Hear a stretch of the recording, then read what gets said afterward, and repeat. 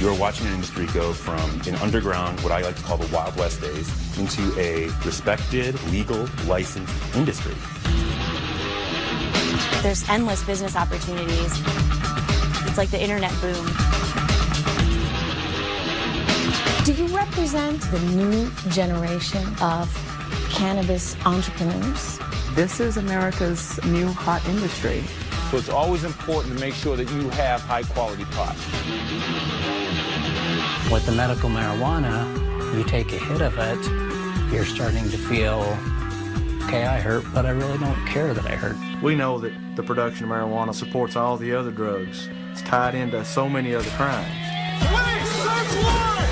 Yes on 19 is yes for personal liberty. Yes, we cannabis. There is nothing that any state or the federal government is going to be able to do to stand in the way of legalization of marijuana. Nothing. After more than 70 years as an illegal drug, could it be possible that marijuana's moment has arrived? Medical marijuana laws are already on the books in Washington, D.C. and 15 states, and support for legalizing marijuana has never been greater. I'm Trish Regan. In the next hour, we'll take you inside a flourishing pot industry, one that's moved out of the shadows and into the mainstream of American life.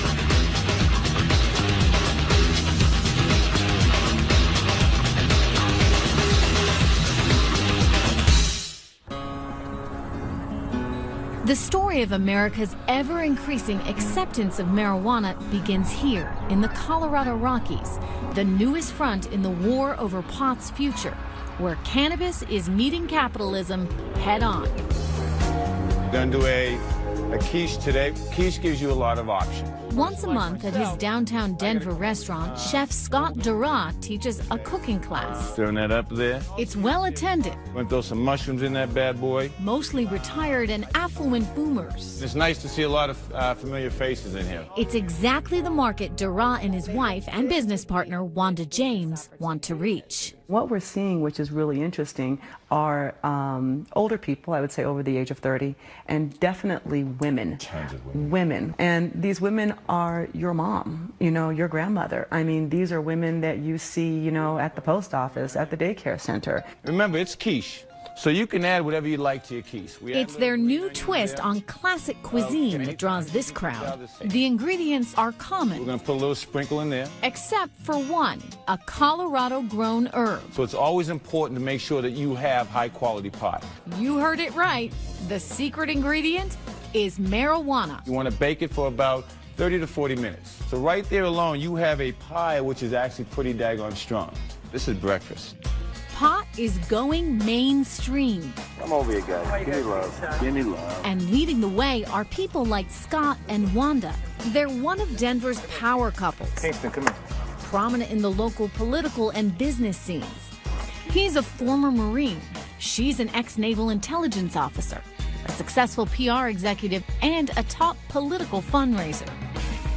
In most places in America, they would be dope dealers. Mike, you did a phenomenal job on, on the logo design. In Colorado, they are savvy entrepreneurs in a fast growing, state sanctioned industry, branding and marketing medical marijuana under their label Simply Pure. It's all grown here. This is pure Colorado bud. It's a new kind of company in an old industry, one that generates tens of billions of dollars a year in this country, most of it illegally. Wanda and Scott are taking the high road, using their business know how to take America's most popular drug from the back alley to the corporate suite. Do you represent, in a way, the new generation of cannabis entrepreneurs? Definitely. Um, when you look around this industry and the people who have come into the industry, there's lots of professional people. There are people who were laid off from corporate America. This is America's um, new hot industry. Wanda took us to the heart of their operation, a lush marijuana farm inside this temperature controlled warehouse. How often do these plants bud? It's kind of a conveyor belt system. So what we have is every two to three weeks, you'll see us with a new crop that actually comes up from the budding cycle. These 1,000 watt lights speed up the growth cycle. Mother Nature usually takes twice as long. A typical plant that's, you know, about this size, mm-hmm. how many pounds of marijuana might that yield? Most plants on the average will only yield about 2.5 ounces of marijuana. An mm-hmm. ounce retails for about The high-end weed would be anywhere from, you know, 300 to 450 dollars. And then an eighth of the headband. Even at those prices, medical marijuana is flying off the shelves. These oyster crackers are really popular too. Let's try it all. Perfect. Perfect. I'll take a gram of the Hong Kong. The choices are exotic. The Maui Wowie I like. You do? Okay, that works for you. If you think choosing a bottle of wine is tough, good luck deciding between these. Need help? Just ask the pros, better known here as bud tenders. THC is going to keep us up, active, alert, ease pain. Okay. And as long as you have a state medical marijuana license, you can sample all you want. Oh, the chocolates. Whoa, these are so good. In tough times, medical marijuana is one industry that's putting people to work. Thousands are growing, trimming, testing, cooking, and selling the leafy green plant. It smells amazing. It's sold. You're looking at a time when the economy is basically in a toilet. Uh, real estate brokers, c- Mhm. contractors, Insurance. city agencies, insurance companies, And uh, yet- suppliers. people are still smoking pot. Exactly. And it's all regulated, all taxed, and all legal as far as the state is concerned. Federal law says pot is illegal, but back in 2009, President Obama directed the U.S. Department of Justice to defer to state laws regarding medical marijuana. This single memo turned 70 years of prohibition on its head. It advised U.S. attorneys in medical marijuana states to not go after individuals who are in compliance with state laws. The threat of raids by the Drug Enforcement Administration seemed a thing of the past, and Colorado's cannabis gold rush took off. Suddenly, people applied for medical marijuana licenses in droves, flooding the health department with more than 500 applications a day. The number of dispensaries jumped from about a dozen to more than a thousand across the state, outnumbering Starbucks almost two to one. You can buy pot next to a pizzeria, an auto repair shop, inside a medical office building. From downtown to the suburbs, they've become neighborhood fixtures. Too close to home for some parents, like Eric and Stacy Howell. You know, you don't want it invading your, your household, let alone your neighborhood, let alone your state. Howell is an elementary school teacher and a mother of three. You know, as a parent, drugs are always in the back of your mind. From the minute your child is born, that's something you, you know you have to teach your child because it's out there. It's like, can my kid still get a hold of it? So what goes in the middle? She supports the use of medical marijuana by those who are seriously ill, but believes the state's embrace of pot is a threat to her children. How am I trying to teach my kid that it's still an illegal drug? Federally, it's still illegal. You can't use it. Even though the state of Colorado says, yes, you can from a medical standpoint. They are making quite a bit of money, and it is a big tax revenue. But at, at whose expense? One of the big fears that I keep hearing over and over again is what kind of signal are we sending to our young people? What kind of signal does it send to your children when you have a fully stocked refrigerator with Coors Light or with, you know, Budweiser in it, and then the campaigns that are behind those alcohol products of the half-naked women? I mean, what kind of signal is that? We're not talking about some reggae concert or you being stoned in your dorm room. We're talking about a whole emerging business here with responsible people. And there's a whole army of them. People like 21 year old Samantha Sant. How have you been? Great. How have you been? She jumped at the chance to get in on the ground floor of the pot boom selling seeds. We have a new strain out for you. We're a new enterprise. There's endless business opportunities. It's, you know, it's like the internet boom. The YPO hapa is a shorter plant. Equipped with a business degree, Sant's first job out of college is with the Centennial Seed Company. The seeds aren't cheap. They retail for 70 to $100 a dozen. So we're going to do one roughneck and two IPO today? That'd be great. Okay. We have close to 100 retailers in under six months. We keep receiving calls day in and day out of more people interested in seed. There you go. Great. And there you go. But just as Colorado's pot business took on an air of legitimacy and began thriving, the federal government fired a warning shot aimed right at this man, Chris Bartkowicz. Bartkowicz had been cultivating for years, long before medical marijuana was legal. This plant is sour diesel. It's been rated in magazines as a 10 out of 10 for growing, for medicine. He says he wanted nothing more than to go above ground and become licensed and legitimate. You don't see back alley deals with cigarettes. You don't see back alley deals with alcohol. But you do see it with marijuana. If it was legalized, taxed, and government regulated, we wouldn't have problems like this. I wouldn't be facing life in prison. That's right. Life in prison, done in by his own audacity. Bartkowicz was just another pot grower when a local TV station asked for an interview. He agreed and proudly showed off the goods in his basement. I don't think the average person realizes how close to their front door it is. It was a sensational story with a dramatic ending. The DEA raided Bartkowicz's grow and arrested him. If you go on the news and you show this marijuana grow and you tell me what house it's in, what am I left to do? Special Agent Jeff Sweetin was in charge of the case. A violation of federal law, clear and simple. But not so clear and simple to Bartkowicz, who'd put his faith in that Justice Department memo, which said the feds would not enforce a crackdown. He was charged with possession of more than 100 marijuana plants with intent to manufacture and distribute. I was state compliant. I had no fear. I was not worried about the feds coming. But you knew you were in violation of federal law. Not according to the memo, I wasn't. No state charges have been levied against me, and no state investigation was conducted. Why would I even have a hint of fear of the federal government? With a prior drug conviction, Bartkowicz was looking at 40 years to life. He pled guilty and is awaiting his sentence, hoping to reduce it to five years. With so many medical marijuana businesses here breaking federal law, Bartkowicz's story sounded the alarm. But Wanda and Scott are taking their chances. Doesn't it make you a little bit nervous? You could potentially face jail time? The federal government has been very, very clear in its guidelines that if you are operating with under the guise of your state regulations, that it's supposed to be a hands-off scenario, mm -hmm. which is why we feel confident to be able to do this industry and not fear every morning when we wake up being arrested for this. Come here, Brooklyn. Wanda James may not fear going to jail. But that's not the case for growers in states without medical marijuana laws, where the crackdown continues. That's coming up. But first, take this with your ID and inside a cannabis clinic. Is this doctor healing sick patients? Open wide and say, ah, oh, let's see. Or just giving potheads permission to get stoned? One, two, three, cannabis. Aiding or abetting? When Marijuana USA continues.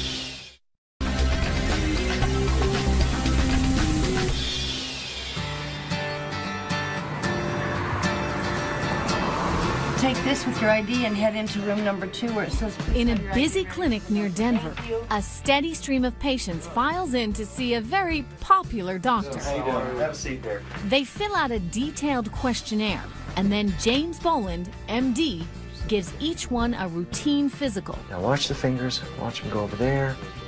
It looks like any other medical practice. Open wide and say, oh, let's. With the usual mix of complaints. Severe pain for my right knee. I've oh. had two surgeries. Psoriasis. Oh, boy, yeah. The headaches keep me from work. And I but here's the difference.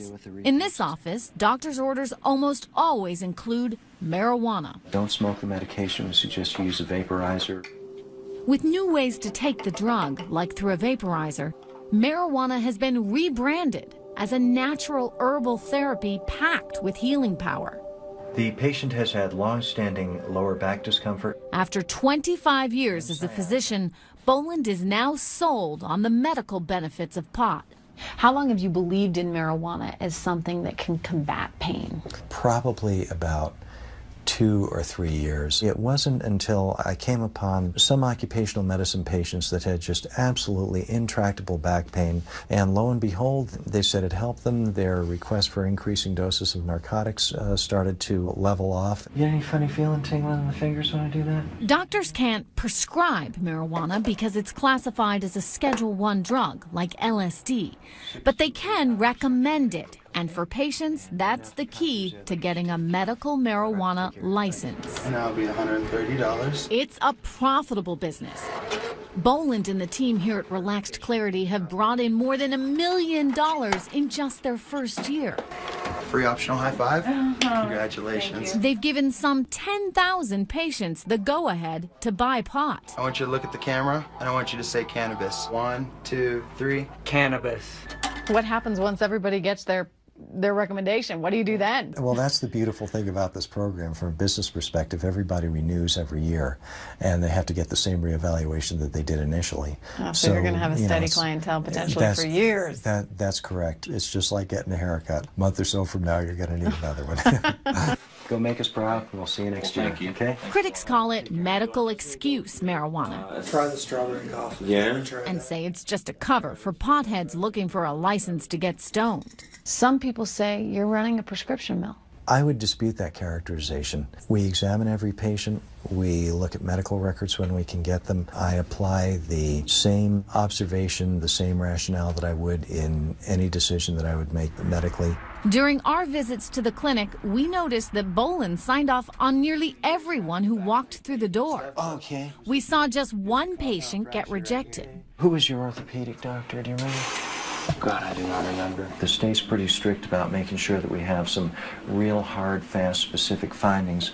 Do you ever get people in here that you clearly know just want this for recreational purposes?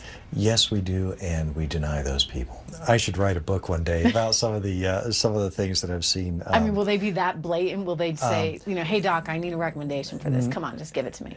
Yes, there have been a few people that have, have come in saying that, or somebody who says I have back pain or my knees hurt, and then they make this aerobatic pirouette up onto the exam table. Do you have any other questions? Some may dismiss the legitimacy of medical marijuana, but patients like Scott Snuffer do not.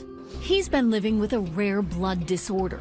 Recent surgeries and infections related to the disease have left him with a distended abdomen and in severe pain. He wasn't satisfied with the prescriptions his doctors had to offer.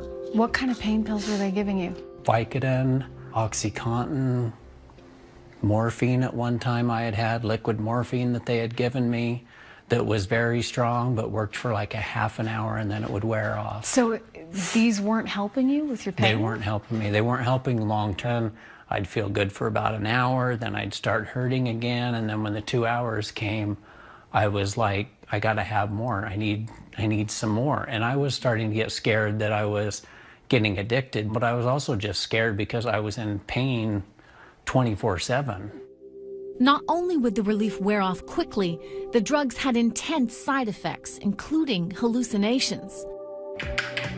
When that became unbearable, Snoffer decided to look for relief at the end of a pipe. Has it helped? It's helped greatly. And with the medical marijuana, you take a hit of it, and within anywhere from 10 seconds to five minutes, you're starting to feel, okay, I hurt, but I really don't care that I hurt. It's not that big of a deal. Snoffer now takes fewer pain pills, and he can do some things he couldn't do before, like cheering on his son Quentin. Quentin and his brother Easton say marijuana has helped their dad. Sorry. Has the marijuana made that big a difference? It really has. He's more with it. He knows what's going on. And we can talk to him now. Yeah. He finishes his sentences. So your dad's more like your dad. Yeah. Yeah. He's back. It's stories like these, advocates say, that make the case for medical marijuana. But among scientists, it's much more controversial.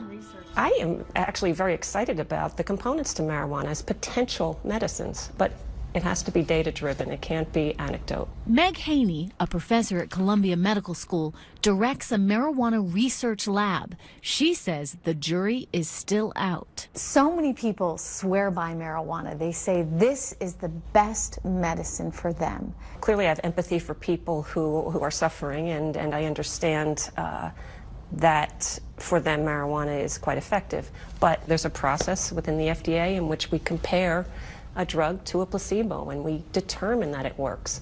So people who say marijuana is going to be effective where there is no evidence makes me very uncomfortable. Here's what scientists do know. When someone uses marijuana, the chemicals inside the plant called cannabinoids bind to cell receptors in the brain. They cause the release of dopamine, which is what gets people high. But they also affect functions like problem solving, appetite, pain response, and muscle movement. In her research, Meg Haney confirmed what many know from personal experience that THC, the chemical compound in marijuana, can increase appetite and relieve nausea. How much pain you're Other scientists see strong potential for treating neuropathic pain and muscle spasms. While Haney recognizes the drug's medicinal promise, she warns of the small but real risk of dependency and the harmful effects smoking has on the lungs. She cautions against its widespread use as a cure all. Marijuana has essentially been rebranded as the new herbal medication. Do you buy into that at all? Well, actually, uh, herbal medications also make me uncomfortable because they also are, are absent mm -hmm. in data. So, what people don't realize is that the scientific investigation of cannabinoids is really very young. We don't really know enough under very carefully controlled conditions the potential medical benefits. Large scale clinical evidence is years away. Inhale for five seconds. Research has been hindered, advocates say, by federal restrictions. And how much pain are you in right now?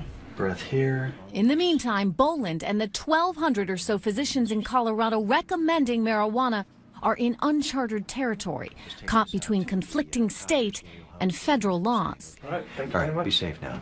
You're in this real kind of no man's land where there's some regulation, but not a lot of regulation. And the medical community doesn't thoroughly recognize this. You're definitely walking a little bit of a tightrope and sailing between a lot of reefs uh, by, by doing this, yes. But there are a lot of patients for whom this is the last best hope for a quality life.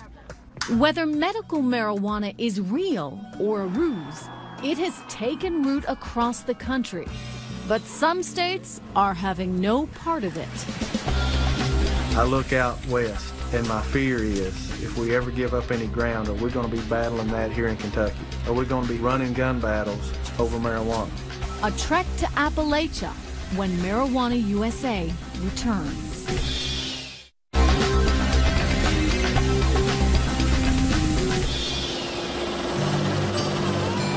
This is cannabis country. Down below, hidden in the wilderness of Kentucky's Appalachian Mountains, are gardens of marijuana worth at least a billion dollars. All of it illegal.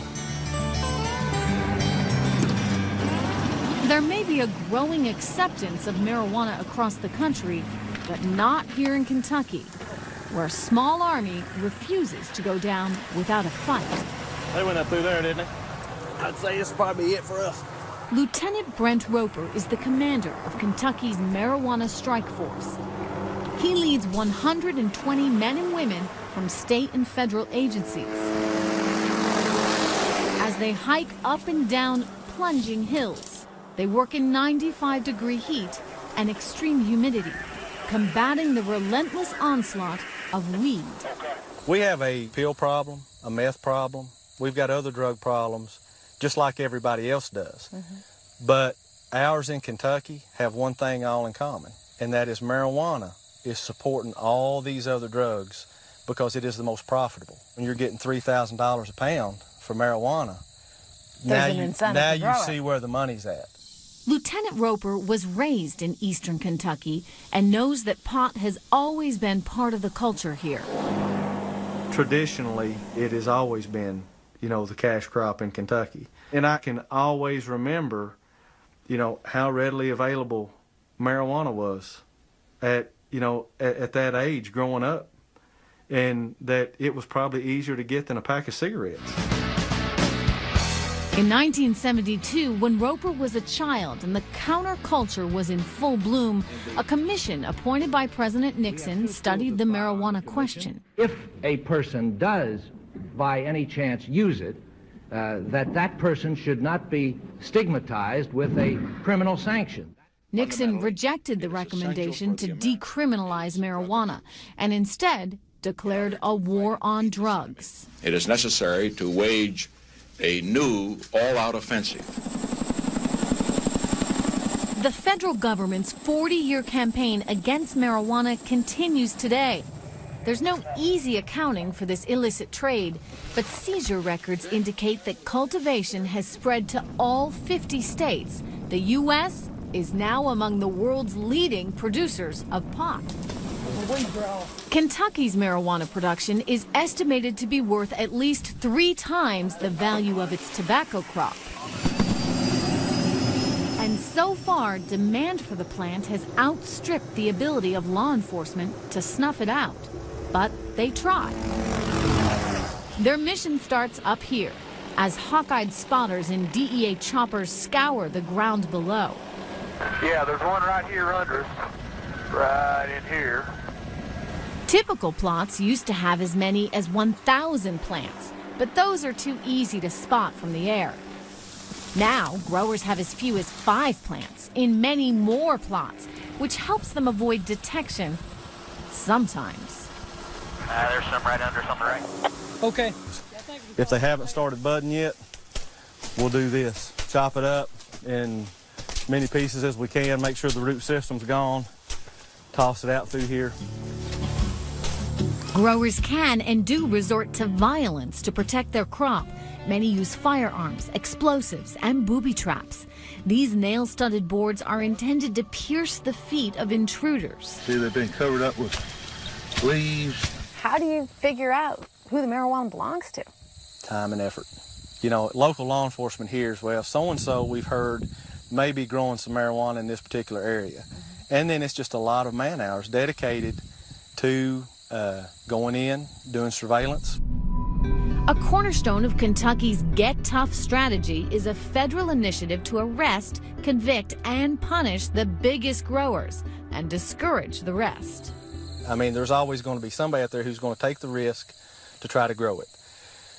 What we want to do is get to a point where the risk, you know, is is outweighed by the consequences of what happens if you get caught. With jobs disappearing in the coal mining and tobacco industries, and one out of five people here living below the poverty line, there are those willing to take that risk. For John, who asked that we use only his first name, life hasn't been easy. There's just nothing. You can't make money on tobacco. You can't make money on anything. To get by, he raises goats and lives off his land, hardly the life of a drug kingpin. But in 2009, he was one of more than 600 marijuana growers arrested by Lieutenant Roper's team. They got me on the ground, and the one was standing on my head with an AR 15 automatic assault rifle pointed at my head. He was charged with cultivating 150 marijuana plants, a federal offense that carries a sentence of 5 to 40 years in prison, something he says he didn't consider when he threw down some marijuana seeds. All the factories are shutting down moving, so if you want to make any type of a living at all, it's really the only way, and the demand is so incredible. He pled guilty to growing 30 plants. After 90 days in jail and a hefty fine, John says he'll never grow marijuana again. But there are others to take his place. Is it realistic to think that you ever get rid of marijuana completely in Kentucky? There's no way. So the Kentucky mission continues with no end in sight. In this steep and rugged terrain, some plots are virtually inaccessible. Clear on your left, sir. Clear the ropes. Ten Black Hawk helicopters transport 40 state troopers to rappel into the tiniest gardens in the most remote spots. Uh, and then right here some more. They burn through fuel and taxpayer money. $800 an hour, eight hours a day, $1.4 million a year. How many plants is that? Seven. Seven? It's now the end of the harvest season here in eastern Kentucky, and authorities are wrapping up their search and destroy campaign. They've actually confiscated less marijuana this year, but they say that's not a sign of failure, but rather proof that the state's zero tolerance policy actually works. How can it be a success if you're cutting fewer plants? You know, in the early 90s, if you're cutting a million plants, but you're only getting maybe 30% of it, you know, it's a start. Where we've progressed to in 2010 is we're cutting, you know, 250 to 350,000 plants. The snapshot is we're probably getting 60, around 60% of what the plant count is here. By the end of the 2010 season, Roper's team destroyed more than $600 million worth of marijuana. And he vows that Kentucky will be the last state ever to legalize pot as just another taxable commodity. Why would anybody ever consider that legalizing one more drug, especially one that we are winning, why would you ever consider that for, just for money? Because in the end, you're going to lose. You'll lose. And that's the fear that legalizing pot would lead to more people smoking, more crime, and more dangerous drugs. Or would it? You go to many places like this where people are smoking in the street and, and the police don't say nothing. And I think it's a good policy. When we come back, a trip overseas to the most permissive pot culture in the world. And no, it's not Amsterdam. That's next when Marijuana USA returns.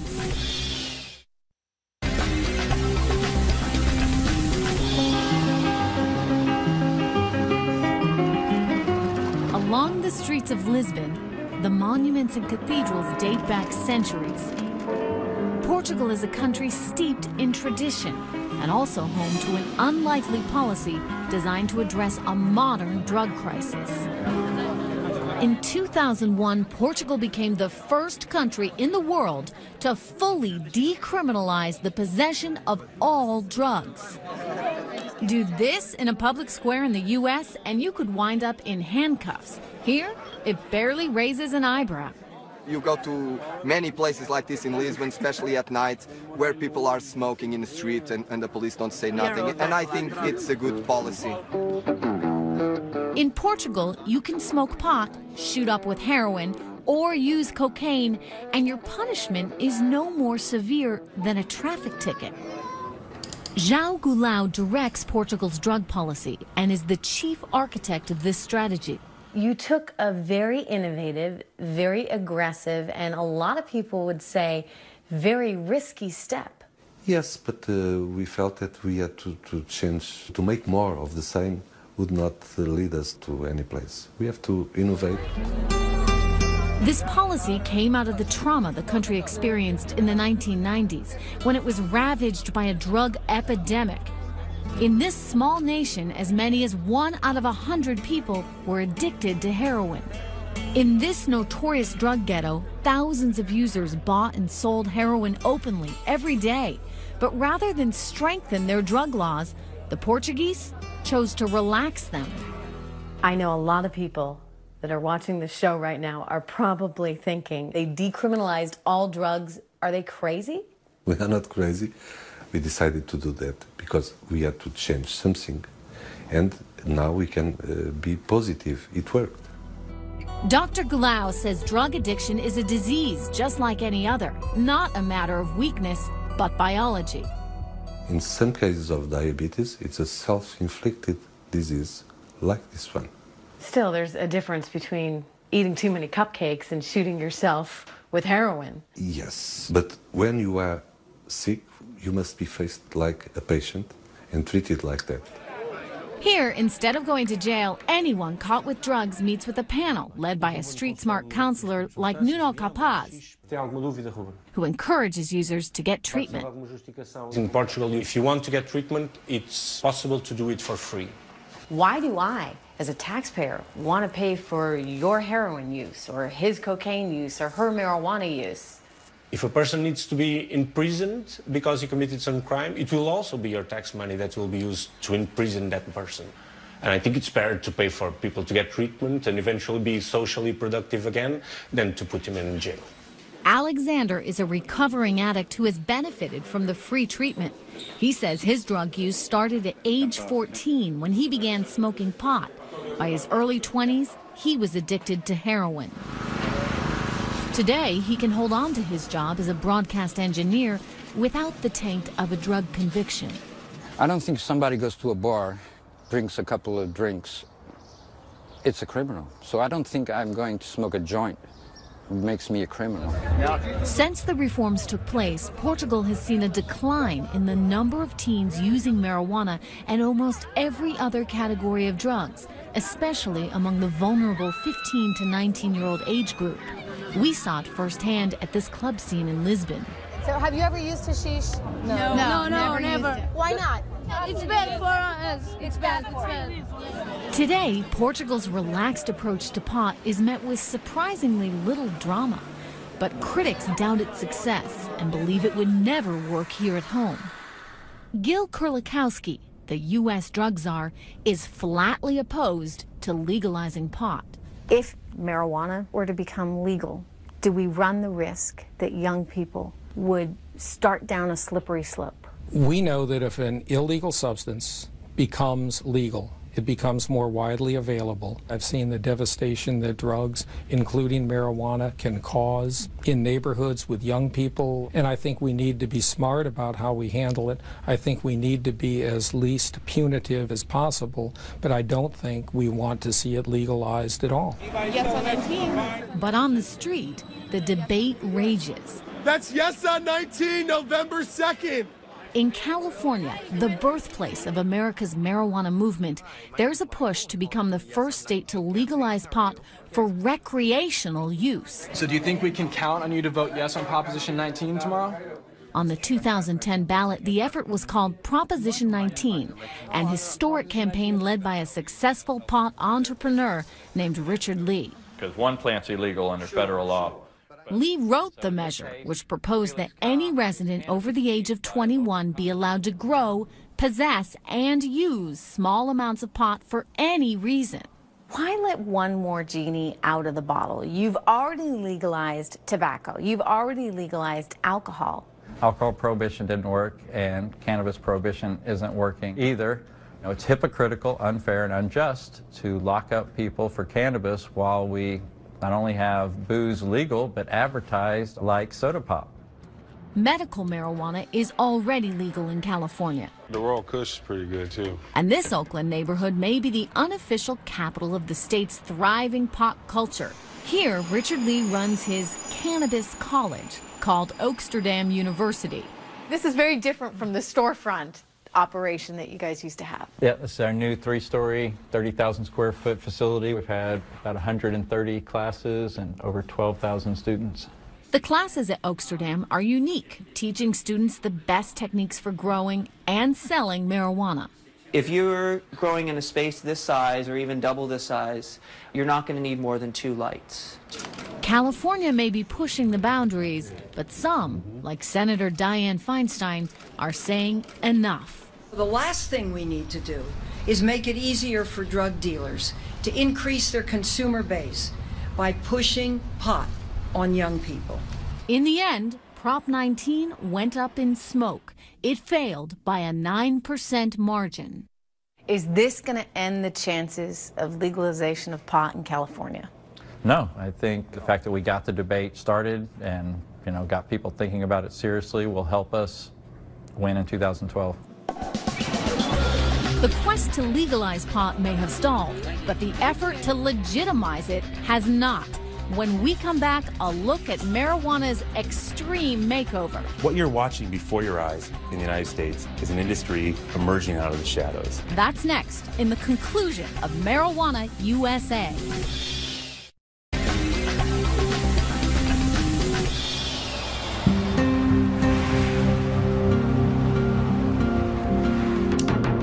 Across Colorado, they are springing up like weeds. Pot gardens, like this one, owned by Scott Durrah. one of a growing breed of entrepreneurs making the most of the state's new medical marijuana laws. Durrah is one of thousands in this fledgling industry finding their way through a thicket of conflicting rules. Staying out of trouble isn't so easy. I'm at the farm every day, you know, with our plants and everything. And every time someone does knock on the door, your mind goes back to that because you don't know. Police, search warrant! Police department, search warrant! In early 2010, police raided a number of grows, including Scott's. Our first operation was raided, and you know they went through our front window, and we were totally legitimate, and you know it was. He and his wife, Wanda James, thought they had done everything by the book. No charges were filed, but the experience left them unsettled. Because it encompasses your life. All of a sudden, you know, you do have people probing in your background and asking you questions and this and that. To escape the legal limbo, these restaurant owners joined other pot entrepreneurs and lobbied for what most industries try to avoid to be taxed and regulated. Okay, Barb, would you tell me about your plants and your patient count? Matt Cook, with the Colorado Department of Revenue, is the man charged with creating a blueprint for a state taxed, for profit marijuana industry. Questions, a lot of questions out there, huh? Cook is a former law enforcement officer who's put hundreds of people behind bars for growing and selling pot. Not exactly the first person you'd think of to help legitimize the marijuana industry. Where do you intend to have any product, medicine at all? As he meets with thousands of pot pioneers, he's realized there's no fighting this wave. It's a huge pill for me to swallow because of where I come from. But I'm going to do what's right to ensure that we can regulate the industry. If he can't beat them, at least he can keep them in line. We can't issue a license till the local government's approved it. What's driving is the need to get it regulated, to get it under control, to ensure that the medicine that patients are receiving meets quality standards, and to ensure that the black market industries, the cartels, and all the other bad guys out there aren't profiting from it. What started out as a few vague rules has now become a strict state code of regulation that goes further than any other jurisdiction in the country, beginning with who is allowed to grow and who is allowed to sell. You cannot have any felonies within the last 10 years. You can have to be able to show years of your tax returns. There we go. Okay. That looks good. Everyone involved in the marijuana business, even investors, must be fully licensed, requiring rigorous background checks and steep fees. You're all set. Wanda James and Scott Durrah have spent more than $25,000 on application fees alone. That was a very expensive, um, it was a 26 page application that wanted everything from your high school diploma to any divorce that you've ever had. The rules now specify precisely how much medical marijuana can be cultivated and sold. And the state will be keeping a close eye on the industry, literally. 16 cameras covering the entire area and the perimeter. Every marijuana grow and retail facility is required to install 24 hour live cameras that feed directly to Matt Cook's enforcement office. He's tracing the money and the product from seed to retail. Cook says the new code will be strictly enforced. Violators will be subject to two kinds of actions. I can fine them up to $100,000 for a violation of the law and a criminal sanction. We can arrest them and make them go to court. Do you ever just shake your head and oh. say, oh my God, this is too much regulation? Every, every morning, every, every morning. But you know, I got to tell you, there's a sense of pride in which we go through this because we know that this is just the beginning and we know that this was going to be difficult, but we were thrilled to be part of the boom of what is happening. They're just not going to get the consistency that you guys will, and that's Even before the state stepped in, Wanda James and Scott Durrah say they made quality control a top priority and had their marijuana tested at an independent laboratory. Full Spectrum is the first facility in Colorado dedicated to testing cannabis for its medicinal and psychedelic qualities. Bob Winnicky, the company founder, tests a lot of pot. But if you're out to dinner or you meet some people at a bar and you tell them what you do for a living, do they say to you, come on. This probably is not as fun as it sounds at, at first pass. Everyone thinks that we're a bunch of guys sitting around a table smoking pot and saying, oh, Oh, this, this one's better than this this one. There actually is a science to it. The chemists here analyze the bud for its cannabinoid makeup, which determines what effect it has on the body. This machine separates the cannabinoids and then reads them and reports the amounts to a computer. What happened to the days where someone said, gee, this really makes me feel good? Now suddenly they want it tested? You're watching an industry go from the, an underground, what I like to call the Wild West days, into a respected, legal, licensed industry. Not since you saw alcohol come out of prohibition has anything similar to this ever happened in this country. Winicke's scientific analysis has been crucial to Scott and Wanda as they roll out their new venture. Simply Pure, a line of cannabis infused edibles. What makes your products different from those marijuana brownies that someone had back in college? Oh boy. Done in a professional kitchen. Our consistency, every time you have one of our products, they will affect you the same all the time. It's like going to Starbucks. You know what you're going to get every time you have one. Colorado has come a long way from homemade brownies, and the rewards are pretty sweet. In just the first year since the boom, the state has collected more than $21 million through sales tax and a host of licensing fees. The governor took $9 million out of the marijuana coffers and used the money to help balance the budget here in Colorado. So we are now intrinsically a part of running this state. You can't take our money and then arrest us. Fast forward for me five years from now, where do you see this industry? I honestly believe in my heart and soul that there is nothing that any state or the federal government is going to be able to do to stand in the way of legalization of marijuana. Nothing. Not so long ago, that prediction might have been laughable. But Colorado's experiment is bringing us one step closer to 217. to imagining what the legalization of marijuana might look like. I'm Trish Regan. Thanks for watching.